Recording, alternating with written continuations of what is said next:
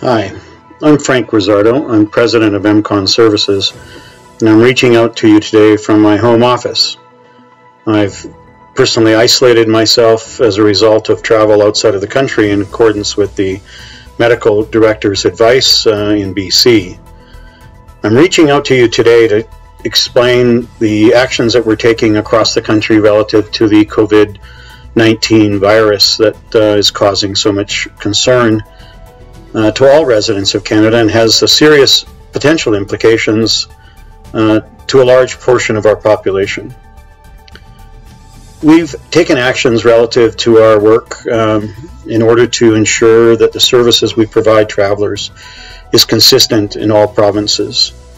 Our employees are provided with the tools necessary to provide their services with the utmost of safety considerations to them and travelers that they may encounter.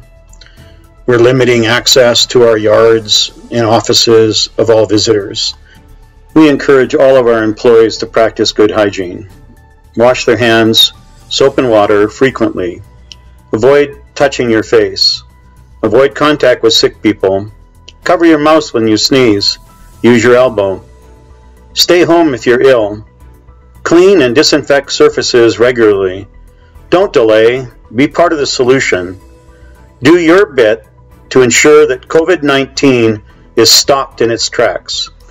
The emergent services that Canadians need are provided by employees like you. Be part of the solution. Ensure we can continue to provide those services through the difficult, stressful period that we are now in. We can succeed in stopping COVID 19 from impacting the rest of society. Let's do our part.